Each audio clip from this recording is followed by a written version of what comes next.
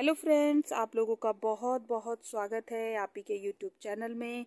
मेरे सभी मित्र मस्त और स्वस्थ होंगे, इसी उम्मीद और आशा के साथ में आज की वीडियो की शुरुआत कर रही हूँ फ्रेंड्स। और सुबह के अभी दस बजे हैं, मैं अपने टेरेस पे आई हूँ और आज मैं आपसे शेयर करूँगी सर्दियों के ऐसे पाँच पौधे दोस्तों, जो कि आपको गुच्छों में फ्लावर देंगे और जो है उनकी जो फ्लावरिंग होती है वो काफ़ी लंबे समय तक बनी रहती है। और अगर आप चाहते हैं कि आपका गार्डन फूलों से भरा रहे तो ऐसे में आज आपको पाँच पौधे बताने वाली हूँ दोस्तों। तो अगर वीडियो पसंद आए दोस्तों तो प्लीज़ सब्सक्राइब ज़रूर कर दीजिएगा, बेल आइकन प्रेस कर लीजिएगा और लाइक तो कर ही दीजिएगा दोस्तों। तो चलिए दोस्तों, देखते हैं ऐसे कौन कौन से पौधे हैं। तो सबसे पहले मैं नाम लूँगी, ये है क्लांचो।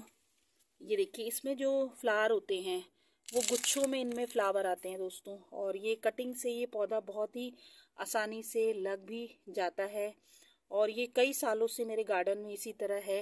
मैंने कभी एक बार इसको परचेज़ किया है, उसके बाद मैंने दोबारा इस प्लांट को कभी परचेज़ नहीं किया है। देखिए, वेस्ट मटेरियल के ऊपर लगा हुआ है। ये देखिए, ये छोटा सा डब्बा है पेंट का, इसमें दो प्लांट लगे हुए हैं, एक मैक्सिम पिटोनिया और ये क्लांचो का, और ये भी वेस्ट मटेरियल के ऊपर लगा हुआ है दोस्तों। ये देखिए, सभी प्लांट जो हैं क्लांचो के वेस्ट मटेरियल के ऊपर लगाए हुए हैं मैंने और इनके जो फूल होते हैं, ये सभी प्लांट मैंने कटिंग से लगाए हैं दोस्तों और इनके जो फूल होते हैं, वो इनमें गुच्छों में फ्लावर आते हैं दोस्तों और जो है काफ़ी लंबे समय तक इनके फ्लावर बने रहते हैं। ये एक बहुत हार्डी प्लांट है। बस इसे ओवर वाटरिंग आपको नहीं करनी है दोस्तों। ओवर वाटरिंग से ये प्लांट आपका मर जाएगा और इनकी जो ये पत्तियाँ होती हैं, इनमें ऑलरेडी काफ़ी पानी स्टोर होता है तो इसको जो है ओवर वाटरिंग आपको नहीं करनी है। और ये प्लांट आप किसी भी प्रकार के पॉट में लगा सकते हैं। देखिए, मैंने छोटे छोटे इनको वेस्ट कंटेनरों में लगाया हुआ है और ये देखिए, बहुत अच्छे से ये प्लांट सभी प्लांट चल रहे हैं। बाल्टी मेरी टूट गई थी और ये ग्रो बैग है जो कि हम जब प्लांट लेके आते हैं नर्सरी पे उसमें मिलता है, उसमें लगा दिया है। तो इनके फूल बहुत ही देखने में खूबसूरत लगते हैं। अगला पौधा दोस्तों मैं आपसे शेयर करूँगी। ये कैरंडुला है और ये मेरे बीज से लगाए हुए प्लांट है फ्रेंड जो कि पिछले साल मेरे बीज जो मुझे अपने पौधों से मिले, उन्हीं से ये प्लांट मैंने लगाए हैं। इनके फ्लावर बहुत खूबसूरत होते हैं दोस्तों। जैसे कि गेंदा के जो फूल होते हैं, कुछ उसी प्रकार के इनके फूल होते हैं और इनमें जो है गुच्छों में फ्लावर आते हैं दोस्तों। आप देखेंगे हर ब्रांच में आपको ये इनके पौधे फ्लावर दिखाई देंगे और ये बहुत हार्डी प्लांट भी है दोस्तों। तो ये पौधा आप ज़रूर लाएँ नर्सरी से। इनके जो फ्लावर होते हैं बेहद खूबसूरत होते हैं और इनकी कीमत भी जो अगर आप परचेज़ करना चाहते हैं तो बीस से पच्चीस रुपये इनकी कीमत होती है दोस्तों। तो ये प्लांट आप ज़रूर लगाएँ अपने गार्डन में। अगला पौधा दोस्तों, ये सभी का फेवरेट प्लांट है, पिटोनिया। और आप देखिए, पिटोनिया के फ्लावर कुछ इस तरीके से होते हैं। इनमें भी गुच्छों में फ्लावर आते हैं दोस्तों, जो पॉट होता है, वो फूलों से भर जाता है। हर ब्रांच में इसमें फ्लावर आते हैं और इनके कलर भी बहुत ही प्यारे प्यारे होते हैं। ये वाइट कलर है, इसमें स्टार पिटोनिया भी है मेरे पास में। ये देखिए, और कुछ मैंने बीज से भी तैयार किए हुए हैं तो ये पौधा भी आप लगा सकते हैं।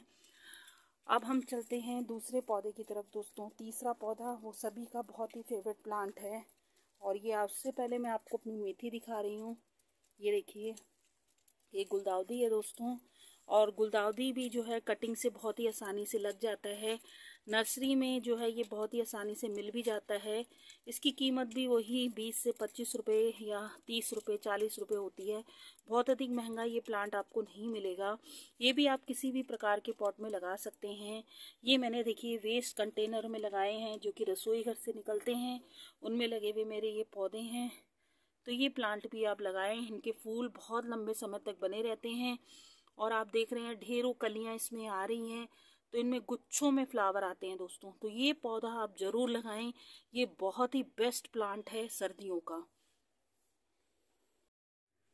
दोस्तों, ये है सबसे आखिरी पौधा, सालविया का। सालविया में आप देखिए कितने सुंदर फ्लावर आ रहे हैं दोस्तों। इसके जो फ्लावर होते हैं, ये इसी प्रकार गुच्छों में इनमें फ्लावर आते हैं दोस्तों। तो ये प्लांट भी आप अपने गार्डन में ऐड कर सकते हैं। इसकी कीमत भी बहुत अधिक नहीं होती है। बीस से पच्चीस रुपये का ये प्लांट आराम से मिल जाता है।